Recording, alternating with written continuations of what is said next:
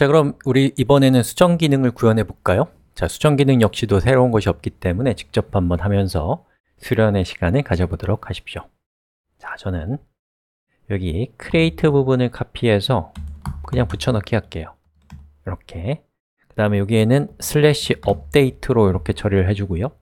그리고 update에 있는 이 코드를 역시나 카피가 아니라 cut을 해서 가져온 다음에 여기다가 붙여넣기 했습니다.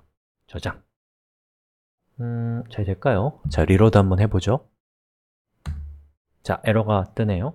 자, query data is not defined라고 되어 있습니다. 아, update를 할 때는 보시는 것처럼 이렇게.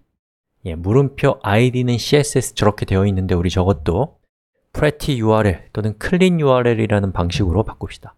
자, 여기, 여기 업데이트 이 부분의 링크를 query string이 아닌 방식으로 바꾸려면 누구로 바꿔주면 되겠어요? 여기 page id를 만들어주는 부분에서 여기 업데이트 링크를 만들어주는 이 부분에 슬래시를 추가하면 되겠죠. reload 했을 때 보시는 것처럼 얘를 클릭하면 이제 clean URL로 바뀐 것을 볼 수가 있죠. 자 그러면 여기 업데이트 부분이 이제 어떻게 하면 돼요?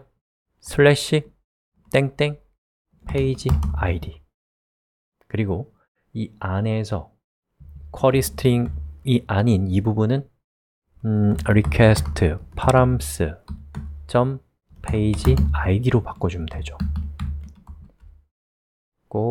이 부분도 이렇게 바꿔주고요. 그 다음에는 다 된 것 같아요. 이것도 send로 바꿔주고요.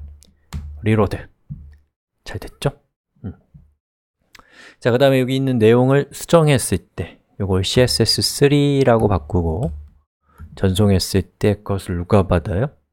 기존의 코드를 보면 업데이트 언더바 process가 받거든요 자, 그러면 그걸 받는 부분에 대한 코드 우리 여기 있는 걸 그대로 저는 카피해서 여러분 웬만하면 타이핑을 좀 해두세요 그래야지 익숙해지고 익숙해야지 이렇게 자주 사용되는 것들은 여러분이 필요할 때마다 꺼내 쓰려면 귀찮잖아요 그렇죠? 음, 요거를 업데이트 언더바 process로 바꿨고요 그리고 여기 있는 이 코드를 저는 cut해서 여기에다가 이렇게 붙여넣기 했습니다. 잘 될까요? 해보죠. 자, submit 했을 때 보시는 것처럼 CSS3로 바뀌었고 클릭해보면 내용이 이렇게 달라진 것을 볼 수가 있습니다.